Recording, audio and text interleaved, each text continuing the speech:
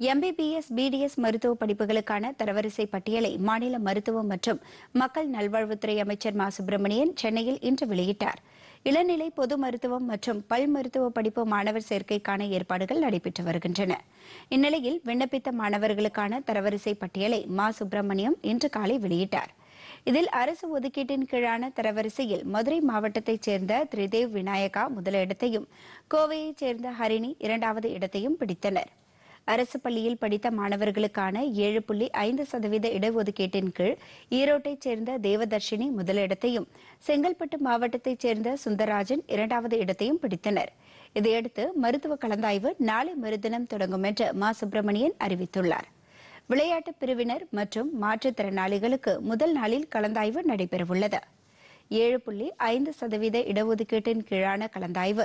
இருபதாம் தேதியும் பொது பிரிவினருக்கான கலந்தாய்வு இருபத்தி ஐந்தாம் தேதி முதலும் நடைபெறவுள்ளது. சான்றிதழ் சரிபார்ப்பு பணிகள் இருபத்தி ஏழு மற்றும் இருபத்தி எட்டாம் தேதிகளில் நடைபெறும் என்று அமைச்சர் குறிப்பிட்டார்.